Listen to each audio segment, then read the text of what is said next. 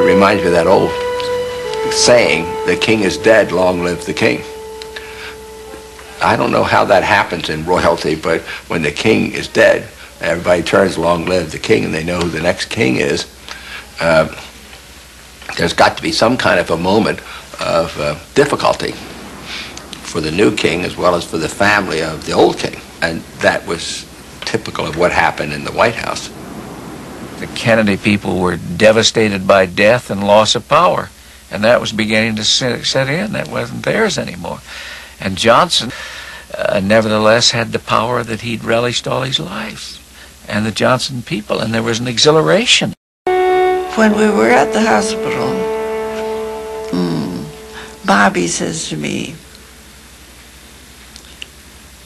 Would you get down to the office tomorrow morning early?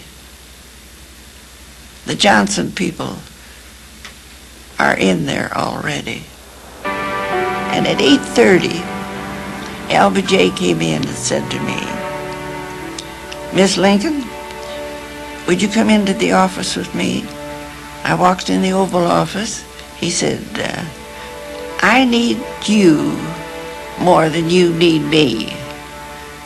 He said, would, could you get all of this, all of the Kennedy uh, possessions out of the Oval Office, your office, and the cabinet room by nine o'clock.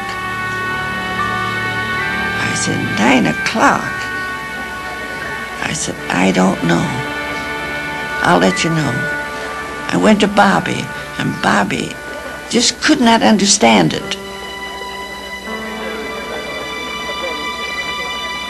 Johnson, I think, probably had his reasons for doing it, uh, but it did cause a certain amount of resentment. I mean, it seemed the haste seemed unseen.